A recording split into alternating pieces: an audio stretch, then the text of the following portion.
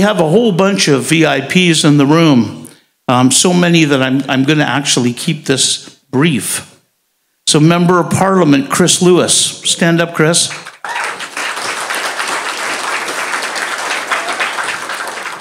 Member of Parliament Lianne Rood.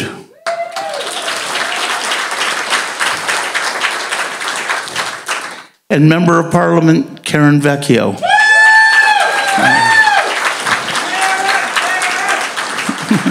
Thank you, thank you very much. Thank you very much for coming to the Stick to Your Guns dinner and helping the CSSA celebrate its 63rd year in existence. Yep, thank you. I, am going to ask Ms. Rood to come up, or I'm sorry, Ms. Vecchio to come up. This is her writing. You're her guest, and uh, I'd like you to uh, to give her a big welcome.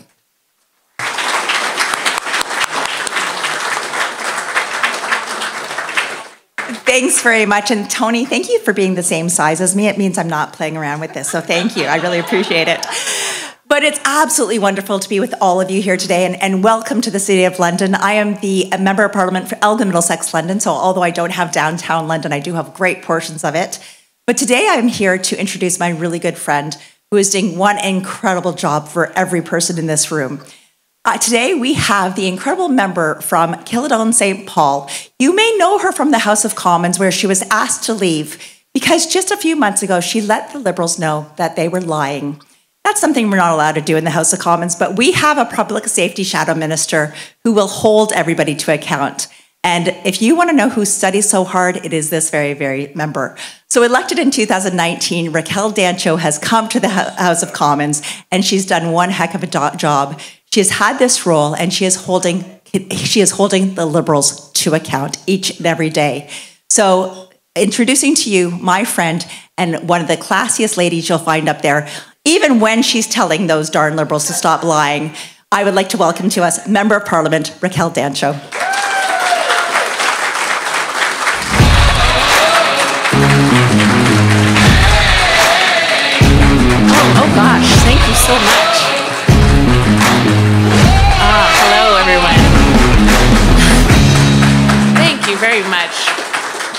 Thank you. Thank you very much, everyone. I, I thank you for making me feel so welcome. This has been such a wonderful night. And I think I speak for all my politician friends. We go to a lot of these kind of banquet dinners, but this is food I actually would come back to eat. So thank you, Tony, for spending the money on some really great food tonight because we really liked it. So, yes, my name is Raquel Dancho. I'm the Shadow Minister for Public Safety and the Vice Chair of the Public Safety and National Security Committee of Canada. And I'm very honored to be joined by my wonderful colleagues from the House of Commons and also former members of Parliament as well. Let me tell you, folks, you have a lot of really hardworking conservatives uh, working hard every day to protect your rights to own firearms in this country. We are relentless, and as you know, the only party in this country who is able to fight and actually make some change for this. And uh, if it, with any luck, we'll have Pierre Poilievre as our next prime minister very soon and bring in some much needed change. Yeah, and I appreciate, Karen, that you mentioned uh, how I got kicked out. You know, it's interesting. The Liberals can lie in the House of Commons, but you can't call them liars. It's such an odd thing that I learned, but also uh, at the same time, I think it was the proudest moment of my dad's life when I got kicked out for uh, calling them out for lying. So there you go. That's how it goes sometimes. It was uh, it was a great day. So I, I, would like to thank the CSSA for inviting me tonight. It's just wonderful to be in the presence of responsible, knowledgeable, folks who really know what you're talking about, very level headed. And it's been such a wealth of knowledge, Tony. You're really under great leadership here to everyone in the CSSA under Tony's leadership. We are very grateful. I'm very grateful to know you, what I've learned from you, Tony, and you're always there, phone call away when I have some technical questions. I do own firearms, but I think, Tony, you're a gun expert like no other. So I really appreciate your insight very much. And uh, I really appreciated going to the MP Range Day last year. I, uh, I know a number of my colleagues were there as well. I, it's the first time I ever shot a 44 Magnum. And that gun is like a cannon. I think my ears are still ringing. Someone mentioned that you could take out a moose with that uh, with that handgun, and I believe them. So it was quite the day. And I'm actually missing out on my own family's range day today. We have uh, we shoot a lot of firearms at my family's farming property, so they're out ATVing and having a good old time in rural Manitoba today. But I'm very happy to be uh, to be joined by all of you. This is a this is a great night for me. And uh, I did want to say as well that I'm going to talk a little bit about C21, how we got here, but also I wanted to talk to you about the really serious issues we're facing in this country crime wise and why it's so frustrating that we have a liberal government who there's a terrible crime headline and they say, oh, yeah, well, we're fixing that by going after guns. Well, the people in this room know how effect- ineffective that's going to be. So I wanted to talk to you a little bit about that because it's so important that we get a conservative government in, not just to protect firearm ownership rights, but also to ensure that all of our children, all of our wives, our husbands are safe when they walk down the street, which used to be a given in Canada until the Liberals came in and brought in their catch and release bail policies. And now we're seeing headlines every day of stabbings and shootings and criminals who, who we know should not get anywhere near a firearm, but under Justin Trudeau, they're getting one in under two hours in cities like Toronto. Meanwhile, all the people in this room are following every possible rule, every curveball that Trudeau throws at them, and yet he's punishing the people in this room when he should be going after criminals. So I did want to talk to you a little bit about the work we're doing there as well. So, as you um, you may know a little bit about me, but uh, I'll tell you a little bit about myself of how I kind of got into this uh, this role of talking about guns every day. So, I grew up to four generations of Canadian farmers in rural Manitoba, and uh, I learned to shoot guns at a pretty young age. My dad got us my first gun. I think it was about 12, 10 years old, and uh, we started. I think we went hunting squirrels of all things, but you know, it's good target practice and then uh, went on to deer and other things from there. And it was just something that you do in rural Canada to sustain yourselves. I mean, uh, my my grandparents and their grandparents who came to Canada for freedom and opportunity. You know, sometimes there wasn't as much government welfare back then, so they would hunt to sustain themselves. And almost everyone in rural Canada has a firearm. It's very normal to have a firearm. In fact, a common 18 year old birthday present is getting your first gun. That's what it was like when I was growing up. So that's how I felt. It was just everyone owns a firearm. Then I went to university. I went out east, or I guess we're out east now. I came out to Montreal, and uh, I met people who didn't believe in my right to own a firearm. And I met people who, I remember, I'll never forget the day I got into this argument with this other young lady from Toronto. God bless her. But uh, she's like, I can't believe you hunt. It's terrible. And I said, Well, you're not a vegetarian, so where is it that you get your meat from? She's like, um, the grocery store. Like, oh, okay, so you think it comes packaged in a vacuum seal package in the back of Safeway. Okay, we're not going to find any common ground here. But it was there that I really found I had to start defending myself and my family's way of life. And again, I'm from a generations of farmers that helped build Western Canada. And yet I was surrounded by people who didn't respect or appreciate our way of life. And now my family's just now getting into sports shooting, but we've been hunters and gun owners for many, many, many generations. So when I got this file public safety about a year and a half ago, and the firearms file is in that, I felt like I can do this. I've been fighting against lefties at university for about 15 years now. So what's a bunch of liberals? Not very much different. So it, uh, it's been going well so far, and we have found that we've been able to win the argument.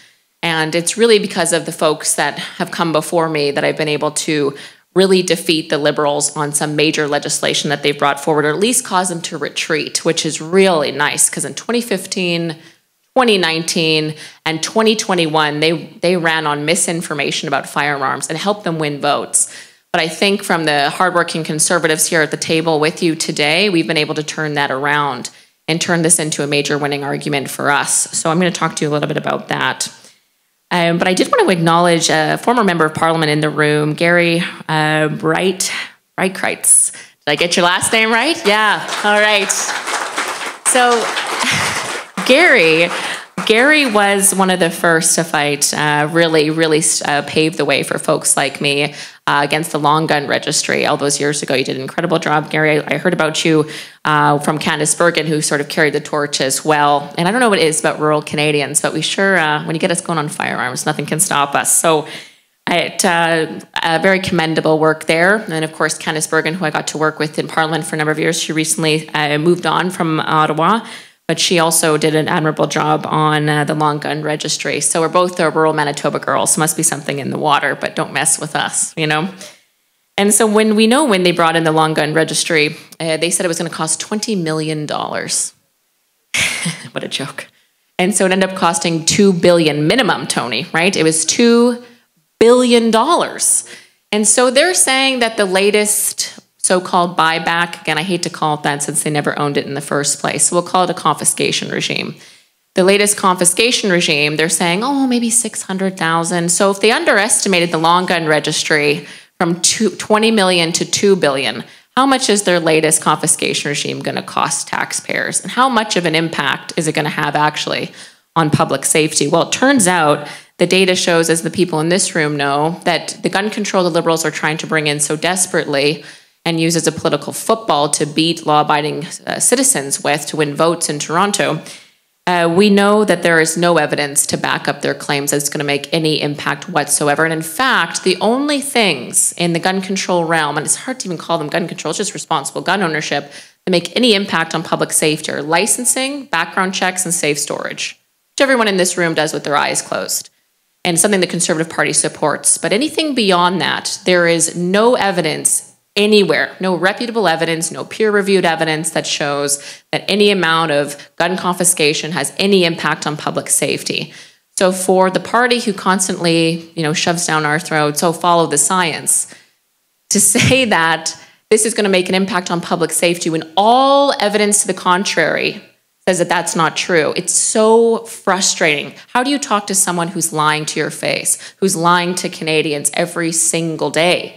And we have some incredible researchers in Canada. Dr. Caillin Langmann is one of the latest, whose research is some of the most uh, respected research in the country, who has shown that none of this is going to make an impact. Didn't make an impact in Australia, didn't make an impact in the UK.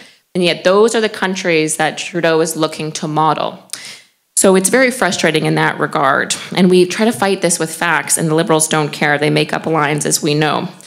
And uh, a few years ago, you'll remember this very well. It was first, it was the OIC, right under the cloak of darkness. The worst pandemic in a century hits. A month later, they come with the largest long gun ban in Canadian history at that point. And they really, it was disgusting at the time. They leveraged the deaths of 22 people, including a pregnant woman, leveraged that for their own selfish political ambition. I just I can't believe that they did that in the past in the last summer. Um, the conservative colleagues and I heavily litigated that and and really cross-examined, so to speak, the former RCMP commissioner, who's no longer in that role, uh, for her involvement to further the liberal political agenda. And it was really disgusting what they did, but that's where it started. Well, we know C71 before that. And just a side note on C71, did you know it was the largest petition in Canadian history fighting C71? Over, I believe it was 160, 170,000 people who signed that petition, most in history by far, and still the Liberals wouldn't listen. So they say they consult, but we know that that's complete baloney. And then just a few, uh, about two years ago, they introduced the first round of C21, and then of course there was an election. And then uh, last June, they introduced this version of C21. And their claim was, well, who needs a handgun? Just discounting all of the Olympians, the sport shooters, all the pride that handgun sport shooting has brought to Canadians over the years. So much history and pride that conservatives have in our sport shooters. And not to mention all of the ranges that support local police. Uh, my range in my riding supports the RCMP of Manitoba. That's where they train. What do you think is going to happen? Where are the RCMP going to train when that gun range closes because of the pummeling that they're getting from the liberals. Again, these are things that the liberals don't respect, that they don't care about, that we're fighting for every day in parliament. So they brought that forward with no respect to our Olympic sport shooters. Actually, we had Lynda Kiejko, an incredible sport shooter, represent Canada on the world stage on a number of occasions, come and speak at committee. And you should watch, if you haven't seen it, watch her school, the Liberal lead on public safety committee. It's quite something I highly recommend. Have a drink, watch it. It's pretty impressive. She's an amazing woman. And then, um, so that came forward. And I just want to mention on C21, the Liberals sell this as a handgun freeze, right? We know it's a long term ban. When uh, it's, it's formally in place by regulation, they jumped the gun, so to speak. They, we were being too effective at committee, taking too long with C21. So uh, Liberals being sneaky put it in through regulation, which, in my opinion, is extremely undemocratic given that this is private property that we're talking about. So they did that. And they say, well, C21, Minister Mendicino says it's the most important piece of gun legislation in history, but let's break that down for you for a minute. So he says that the mandatory maximum for gun smuggling is going to be increased on C21. Oh, sounds pretty good, right? Great. People who gun smuggle are part of the major problem with gun violence in Canada. Toronto police, in fact, say that nine out of 10 handguns used in crime are smuggled in from the US. So it's not from the law abiding citizens. We know this. And it's also police who are saying this. So he, so it sounds great, great, crackdown on gun smugglers, but the reality is, he says, "Oh, we're going to up it to 14 years. Look at us, liberals, being so tough on crime." We did an information request, and we found that the prime minister and the prime minister's government since 2015, they've never once used the current maximum of 10 years for gun smuggling and gun trafficking. Not one time. So for him to parade around and saying he's getting tough on crime and gun smuggling, and this is going to be the ticket to success it's total baloney. So I wanted to make sure you knew that when you're in your discussions with your friends. And then also the red flag laws. So they sold this as something that's really important for battered and abused women, something that everyone, you know, of course, that sounds very good. But then when we actually got expert testimony at committee, Indigenous groups, women's legal groups, women's abused women's groups all oppose it. All of them, the people that this is supposed to help, say this goes too far. One says it puts the onus too much on women which is the very people it's supposed to protect. And the other indigenous groups would say that those who may not like our, our First Nations people too much can just call in and use this against us, which is, of course, a concern that we would all have. Anyone who has a vendetta against you, to put in red flag laws like this makes it that much easier for people to use that against you. So to hear First Nations, uh, multiple chiefs come out and say that I thought was pretty impressive, I appreciated their leadership on that. So we know that those aren't any good. People who want them don't, or that they're made for don't want them. So that's out. So what's left in this bill? They've already done the handgun free. So why do they need it? Well, there's not a lot in there. So we asked the Minister of Public Safety the other day, what are you doing wasting our time at public safety? There are serious, serious crime issues going on in this country. Under your leadership, this is happening, I told him. So why don't you just pull this bill and let us get back to work. And of course, he didn't like that too much, but uh, we're going to keep trying. And then I do want to talk to you about, of course, the C21 amendments that my conservative colleagues and I have fought tooth and nail since the Liberals dropped them in the most sneaky and underhanded and undemocratic way I've ever seen. So, for those of you that are familiar with legislation, you know, it gets introduced in the House of Commons, it gets debated and debated and debated, and then it goes to committee. And then a committee we call experts, like many folks in this room. Tony Bernardo was there with his expert testimony. We consult, we get information, and then it goes on to the next phase, which is to bring forward amendments. But by then, you know, you're going to keep everything from kind of in the scope of the bill, right? And the scope of this bill was a handgun freeze and some mandatory maximum changes. And then they dropped, in a very sneaky way, they dropped the largest long gun ban in Canadian history. This is a bill about handguns, it was supposed to be. And then they brought in hunting rifles, uh, common hunting rifles and farming tools and protection against wildlife tools. It, we couldn't believe when we opened this amendment, hundreds and hundreds of pages long, lines and lines and lines of every firearm that I've ever heard of that have just been commonly used for many, many years by people. That was G20, Amendment G20. It was a devastating day to see that. And then we had G4 as well. So if you hear me talk about G4, G20, this is what I'm talking about. G4 was even more concerning. At least G20 puts it on paper. G4 hides what they're really trying to do. G4 took all the May 2020 OIC definitions that they used to ban long guns at that time and made it any even worse by bringing forward what is effectively, I think it's fair to say, Tony, effectively uh, a semi-automatic long gun ban. There's only a handful that won't get caught up in that definition. That is a massive change in firearm ownership in this country. Massive. And to drop it at the 11th hour in the most sneaky and underhanded way possible and think that they were just going to waltz through. They thought it would take a week, a week to pass this at committee. But they've never worked with me before. So that wasn't going to happen. So we filibustered and we filibustered and we launched a public communications campaign. I put everything I had in me, and I had such tremendous support from people in this room, from my conservative caucus, and of course from our leader, Pierre Poilievre, who is there cheering us on and helping us carry the message every step of the way. And uh, they thought they were cocky. They thought, well, we got it in 2021. You'll remember they had the election, they had a podium like this, and basically a video game looking gun with big X on it and they messaged every day that conservatives were going to put these all on the streets or something. And it worked in 2021. It worked in 2019. So I thought, oh, we'll just sneak this in and it'll work again. Great. And we'll use it as a big wedge tool in the next election. But it didn't work that way. Uh, for the first time ever, they retreated and withdrew their amendment. That has never happened before. And that's from the hard work from the people in this room. Thank you. Thank you very much. And so um, I'm going to talk to you a little bit about what happened this week. But first, I want to talk to you because round two, we're at round two. So I did a little prayer when Mendicino brought forward round two on this this week and just asked God, please give me the strength to do this again. And uh, I do. I do have it in me to do this again. But I'll talk to you in a little bit about what our plan is and uh, how I'm going to keep, we're going to keep fighting in the trenches every day against this because they're just going to keep coming. That's very clear.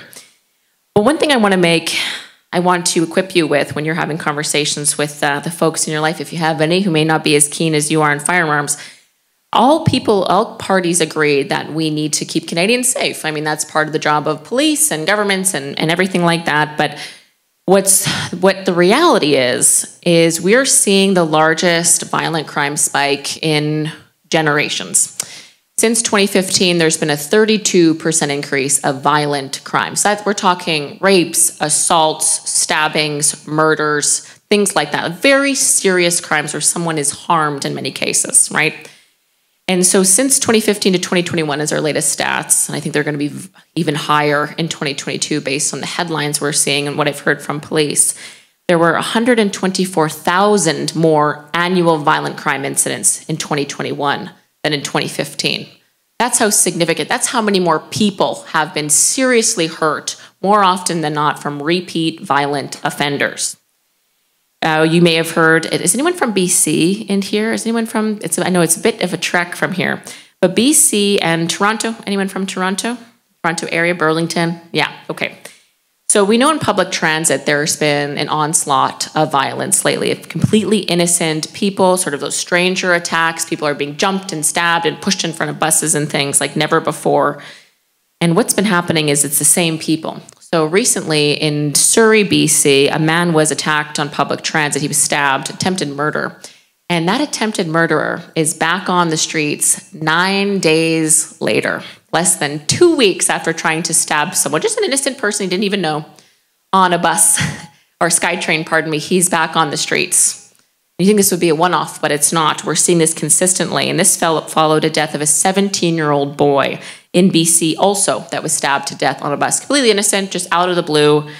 That followed shortly after a 16 year old boy was stabbed on a Toronto public transit station. Again, completely unprovoked and random attack these children, these young boys being murdered. And there's countless other examples that you've seen on TV as well. So we're facing serious issues, and there's shootings as well. For example, in Toronto last year, 44 murders by handgun or by firearm.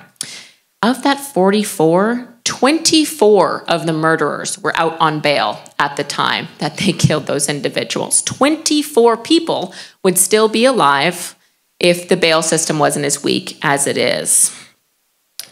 Unbelievable. And we know as well, police officers are brave police officers that keep us safe. There's been 10 of them died this year, eight of them on the job, notably uh, Officer Greg Pierzchala, an OPP officer, a young guy, new on the job, walks up to a truck in the ditch. The driver shoots him dead. That driver was out on bail and had a lifetime prohibition order from owning firearms. So, again, this is the problem. The people in this room know those people are the problem. Why are those people out on bail? How dare they be out on bail amongst everyday innocent Canadians? These guys, I've talked to ex criminals who've turned their life around and help young men out of a life of crime in Toronto. You can get an illegal handgun in under two hours in Toronto because the border is so porous under Justin Trudeau. They're just flooding in from Chicago and other cities. No problem. They can go for $7,000, $10,000 a pop with these criminal drug rings.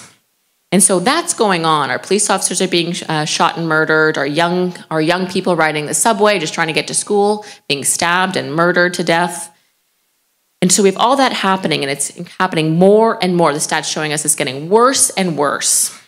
So much so that the police are really trying to send a message. Actually, Victoria Police in BC recently they had to release a man who was charged with 10 counts of sexual assault with a weapon. That's rape with a weapon. 10, 10 counts. He was released back onto the street, no problem. And at the bottom, God bless the police for saying this, it says he was released because of Bill C 75.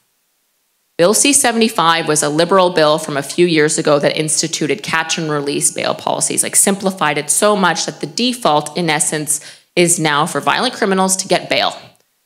You have to really work to get them not to get bail. And the data shows us, again, BC, NDP government, hammering on the Liberals for bail, which is just great to see. This is the last stat I'll share with you. There were 1,325, so 1,325 violent offenders on trial last year. Prosecutors and government lawyers only asked for detention 516 times. So they asked for bail to be denied just over 500 times out of 1,300 times. And violent offenders. And of those 500 times that the lawyers actually did ask for bail to be denied, Judges only granted it 221 times. So, of the 1,325 violent offenders on trial, only 221 of them were kept off the streets. This is the problem. This is the problem right here. So much so that every single premier in Canada, how often does Quebec and Alberta agree on anything? It's just amazing. They signed one letter and they actually just on Friday submitted another of the same letter, sent a letter to Justin Trudeau demanding bail reform. Every premier of the territories and provinces all agree demanding bail reform. They've sent two letters now. This is unprecedented from premiers. Other than this, healthcare is the only thing that they seem to negotiate together on. And so to see this is quite remarkable. And all the big city mayors in Ontario, same thing, signed a letter to the Liberal government just last year and if you talk to any municipal police force, as it is in Victoria with their news release there that I mentioned, they all agree as well. And if you talk to RCMP officers off the cuff, they'll tell you it's bail reform that we need. And so, where are the liberals on this? People are actually dying from this on the streets, being stabbed and murdered. Our police officers are eight of them preventable deaths. Unbelievable. And they're not they're nowhere on this. They've brought forward nothing. It's been months, and more police officers and innocent Canadians have died since the premiers first sent that letter back in January. So they've made no progress on this. They've made they say they've made a commitment to it, but I'll believe it when I see it. I'll believe a tough on crime piece of legislation when I see it. I have my doubts. But then, you know, they just dropped a tw- the 2023 federal budget. And as you know, when a government brings forward its budget, those are its priorities for the year. It's telling you, the taxpayer, these are the things we care about that we're going to do on your behalf. You want to know how many times violent crime and bail reform were mentioned in that budget? Zero. Zero times was violent crime or bail reform mentioned. It is not a priority for the Liberal government, and we should all be very concerned about this. Every Canadian should care about this because they're not going to do anything to fix it because they have the leftist belief that we should go soft on criminals and tough on gun owners. That is what they believe at the core. How do you fight against that?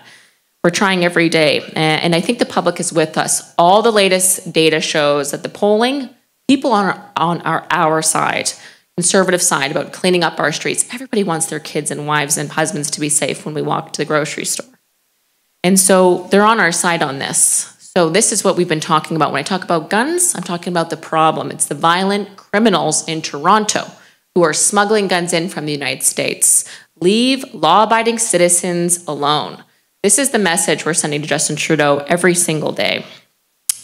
So I did mention the budget, and it is their priority. So what is in the budget for guns? Well, there's $29 million, 29 million.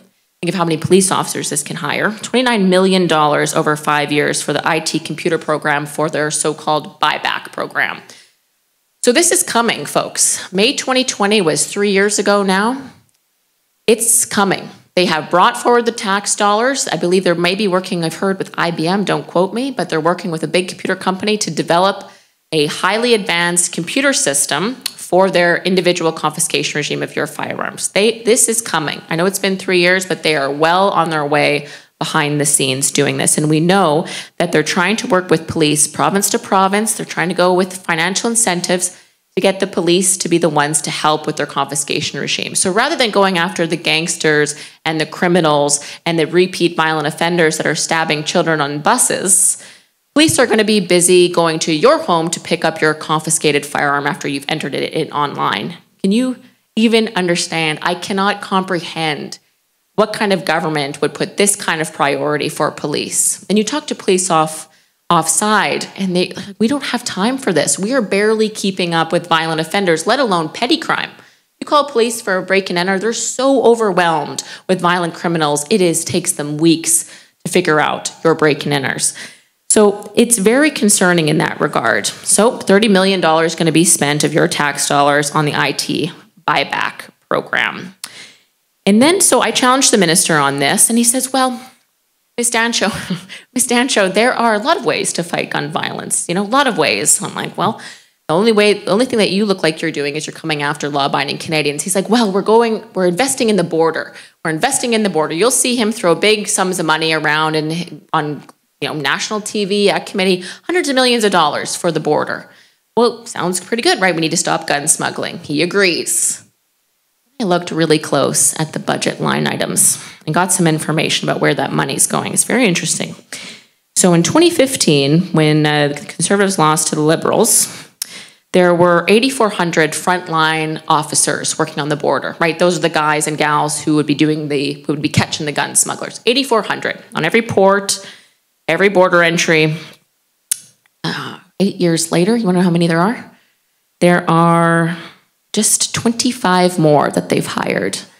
And yet they've spent hundreds of millions of dollars. So where is it going? Well, I did some more digging. Middle management, there was 2,000 middle, middle managers eight years ago. I don't know how many there are now. 4,000. 4,000 middle manager. Again, all respect, if there's public servants in this room, thank you for the work you do. But if we're gonna catch gun smugglers, we need frontline officers doing that work, not middle managers. And they have effectively, or they have doubled from 2,000 to 4,000 middle managers. And these are six figure jobs. Okay?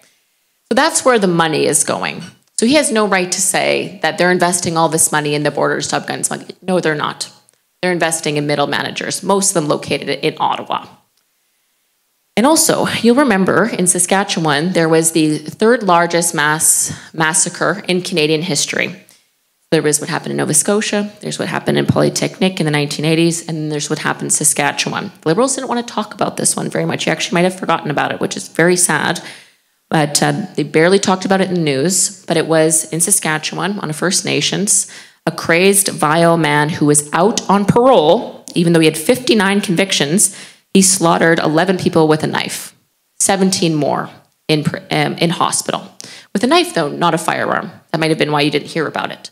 But he was out on parole. How is it that a man, a dangerous man with violent history with 59 convictions, got out on parole? How is it that we have that this in this country? This man should have not got out on parole. He should not have got an early release, and yet he did. And 11 people were butchered by him. And I've tried to bring this up at committee, at public safety committee. We need to study this. We need to put a stop to whatever leaks and parole are happening. We need to plug them.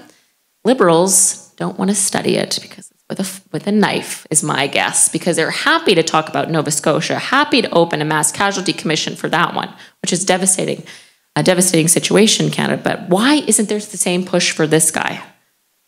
There should be. Those 11 people deserve it. What's interesting, the Liberals have cut 12% to the parole board and this 36% decrease in staff.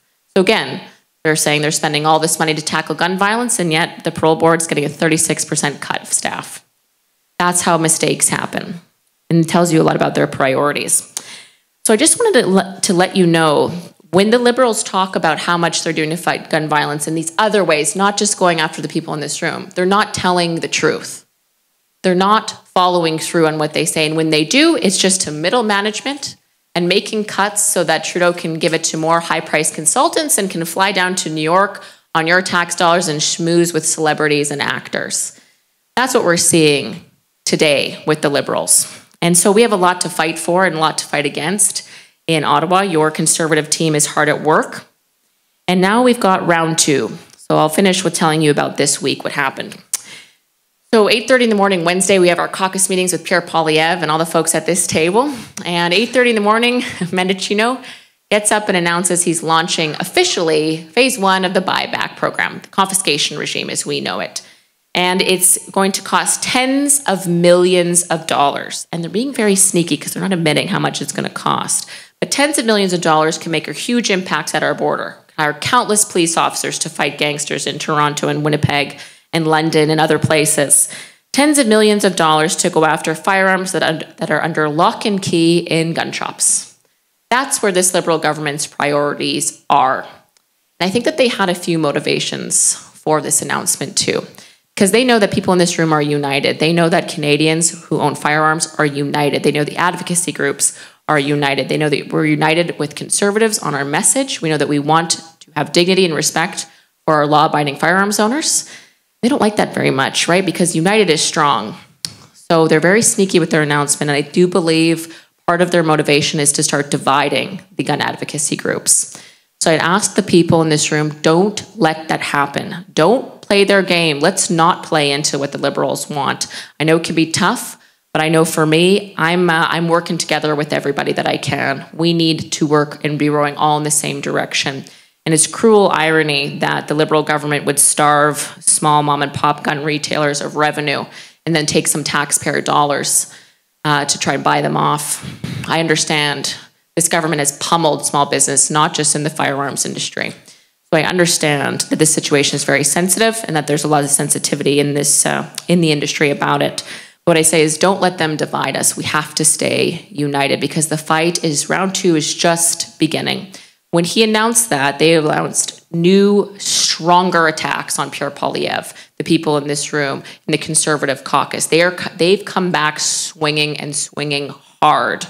So we have to put our, I, I call my lipstick my war paint. Got to put my war paint on, got to put the armor on, and we're going back into the House of Commons and in committee to fight them round two because they've, they have strategized, they have test grouped and focus grouped their messaging, and they are ready to take this on again. Uh, but we're not going to let them.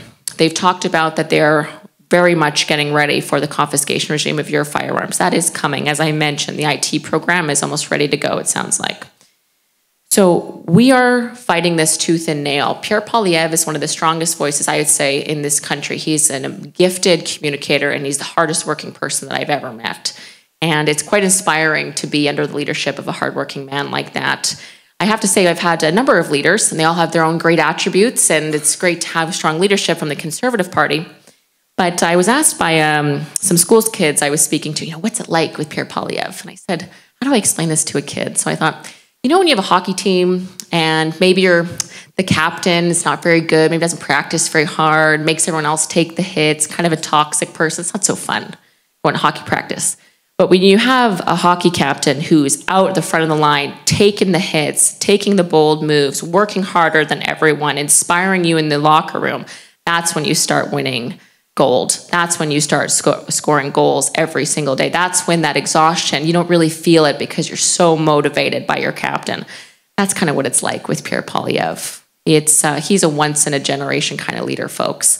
And uh, he's had my back the whole way with our firearms approach. And uh, we meet all the time to talk about it. It is a priority for him. Fighting violent crime and ensuring respect for law abiding firearms owners is a top priority. You'll see he talks about the economy and crime. And in crime is ensuring that you are respected and that you get to keep your firearms, that people like us get to keep our way of life. And uh, as I shared with you at the beginning, it is a deep, deep motivation for me going back four generations of proud Canadians. And so I'm going to keep fighting for this. And I know the conservatives in this room are going to do the same. And I thank you very much for coming out to support the CSSA. Thank you again to the CSSA for all that you've done to help uh, to help me learn a little bit more about the technical side of firearms, not just to point and shoot, but the technical side. I really appreciate it.